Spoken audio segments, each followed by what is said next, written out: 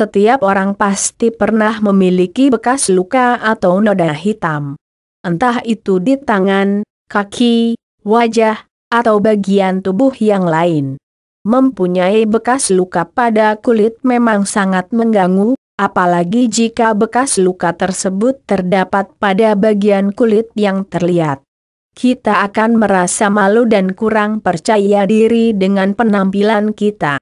Selain itu, kita juga akan merasa tidak nyaman jika bekas luka itu terlihat ketika kita ingin menggunakan pakaian. C. Piksabai bekas luka tidak akan hilang begitu saja, butuh waktu dan kesabaran untuk menghilangkannya. Tidak sabaran, sehingga nekat menggunakan cara instan akan menimbulkan banyak efek samping pada kulit. Maka dari itu, kali ini saya akan menginformasikan bagaimana cara menghilangkan bekas luka tanpa efek samping. Seperti dikutip dari Liketisha.com, di bawah ini adalah cara alami menghilangkan bekas luka pada kulit Anda.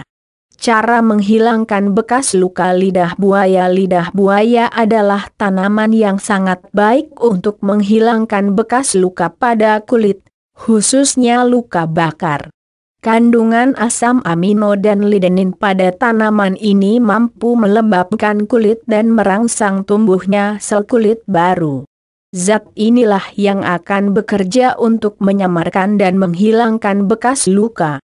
Anda hanya perlu mengoleskan lendir gel dari tanaman ini pada bekas luka Anda 2-3 kali sehari secara rutin, maka secara perlahan bekas luka Anda akan hilang. Mentimun-mentimun juga dapat menghilangkan bekas luka, kandungan vitamin C dan potasium dapat menangkal radikal bebas, menghilangkan bekas luka, menghilangkan jerawat, serta mencegah keriput.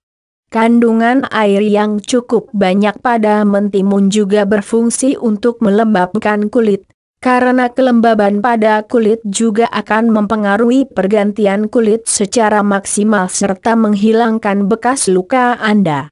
Caranya mudah, potong mentimun menjadi beberapa bagian kecil, tumbuk atau haluskan mentimun yang sudah dipotong, tempelkan pada bekas luka Anda selama semalam secara rutin. Daun mint dan madu perpaduan antara daun mint dan madu sangat cocok untuk menghilangkan bekas luka pada kulit Anda. Kandungan asam salisilat dan vitamin A pada daun mint sangat berkhasiat menghilangkan sel kulit mati. Kandungan antioksidan yang tinggi pada madu juga dapat membuat warna kulit menjadi cerah dan menghilangkan bekas luka pada kulit. Caranya, oleskan daun mint dan madu yang sudah dicampur, diamkan selama 15 hingga 20 menit. Lakukan 2-3 kali sehari secara teratur. Mengkudu banyak orang yang tidak suka dengan jenis buah yang satu ini.